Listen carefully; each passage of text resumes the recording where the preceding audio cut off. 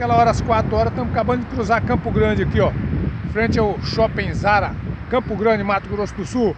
Alô, galera, vamos dormir lá no Gueixo ainda hoje. Um abraço, tchau.